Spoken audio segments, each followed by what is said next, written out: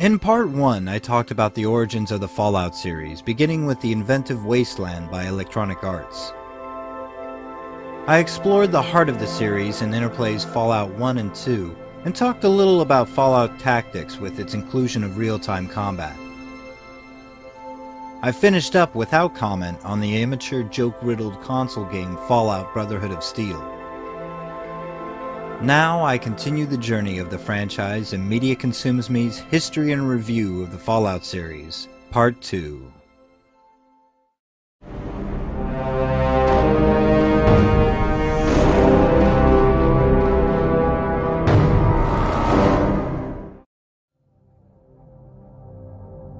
Immediately after the release of Fallout 2, Black Isle Studios began working on another sequel to the series. Interplay at the time had just gone public on the Nasdaq Stock Exchange, and their shares began to take a nosedive after several years of reporting losses. Even though Interplay published some great games, they were purportedly spending boatloads of cash on projects like Star Trek The Secret of Vulcan Fury, a project I was eagerly awaiting having seen the preview in PC Gamer magazine. Fallout 3, along with many other upcoming projects, were cancelled. Interplay was funding its projects through credit agreements, game sales, and loans from the head of the company himself, Brian Fargo.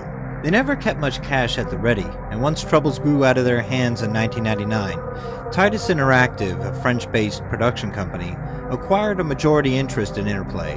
In 2001, Brian Fargo, the original founder, left the company and Titus Interactive's own Herb Caen took over as CEO. A deal with Vivendi Universal was signed to publish Interplay's games, giving a much needed lifeline to the troubled company.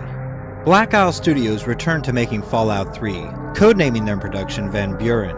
Details began to emerge and fans salivated at the thought of another game in the franchise.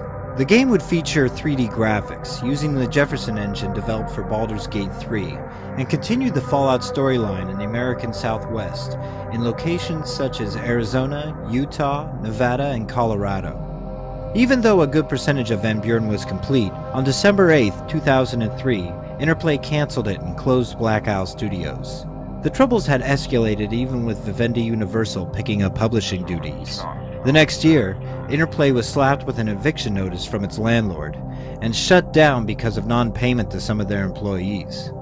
Somehow, though, Interplay survived moving to a smaller office space, possibly one with a lower overhead. Years later, in 2007, a leaked version of the Van Buren tech demo was released on the internet through No Mutants Allowed, a hardcore Fallout fan site. The demo contained a small incomplete tutorial level from the game, giving fans of the series a what could have been look at the cancelled game. Although the game was to feature real-time combat and turn-based combat like that of Fallout Tactics, a requirement Interplay insisted on, the demo sadly only has real-time mode. Once loaded up, a character is created in the updated creation system, and the player's character starts off in an unnamed town during the Great War somewhere in the Midwest Commonwealth. Your character is escorted by a corporal of the 4th Infantry Division through the war-torn streets of the town, fighting against communist insurgents as you make your way to the vault located at the end of the level. Playing the tech demo, fans easily saw the potential Black Isle Studios' Fallout 3 had. The graphics, even though most were placeholders, were spot on echoing the atmosphere of the rest of the series. The tech demo is very buggy with almost all options missing, but it is great to see for anyone who is a fan of the Fallout series. It is hard to say how well the game would have succeeded with the new engine in its final release. Going back to 2004, after canceling Fallout 3, Interplay sold the rights to Bethesda Softworks, the makers of another successful RPG series, The Elder Scrolls.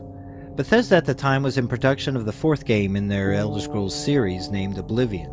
Bethesda announced they would be starting production of Fallout 3 immediately, but it was speculated that production didn't fully start until Oblivion was finished. Leading up to Fallout 3's release date, Fans of the series were split on whether Bethesda would give the series a faithful update.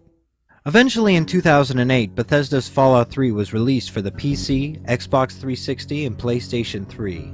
The game featured the same engine as Oblivion, and it was easy for fans to see that it had less in common with what they were used to in a Fallout title.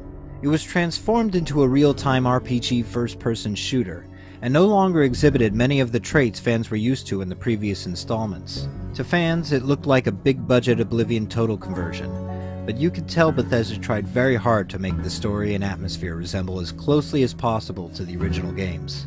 You start at the very beginning of your character's life, literally being born on the screen. From your own point of view, you emerge from your mother's womb. You are introduced to your dad, voiced by Liam Neeson, who through a series of questions lays down the basic name and appearance of your character. What follows is a small tutorial chapter inside the vault you inhabit from a small child to an adult, choosing your character's skills and traits along the way. The first few times you play this section it is refreshing, but after a while of replay the linearity of the vault sequence starts to show. Most of your choices are sometimes redundant too, as after you escape you are displayed a screen giving you a chance to undo what you previously selected. Once you have broken free into the capital wastelands, the choice is yours to venture wherever you choose. Although you are pointed in the direction of the main quest to find your father, the game lets you traverse to any number of locations. The game's map is gigantic, and with exception to downtown Washington DC, it's pretty much free of the usual obstacles to keep a player from freely traversing the area. The graphics are immense, rendering the post-apocalyptic landscape with numerous amounts of rubble and debris. You have to admit Bethesda did a perfect job in bringing the environment to life. The only real problem regarding the graphics is the color palette, which never really leaves the boundaries of its dusty grays, yellows, and greens. The dialogue is good, but not necessarily on par all the time, with some characters sounding phoned in, but nevertheless better than Oblivion. The characters in many circumstances aren't very memorable, since they all share a weird likeness in the Uncanny Valley. As far as the action goes, Bethesda tried to appeal to Fallout fans by incorporating the VATS targeting system. Entering into this mode targets a nearby enemy, and using your action points lets you choose which body part will be the focus of your attack. Adding in this option helps the gameplay, as much of the action in Fallout 3 is clumsy. But once you have used VATS around a few hundred times throughout the game, and your character has become godlike, watching the gory slow motion deaths gets a little tedious. In the next year, Bethesda would roll out five add-ons as downloadable content.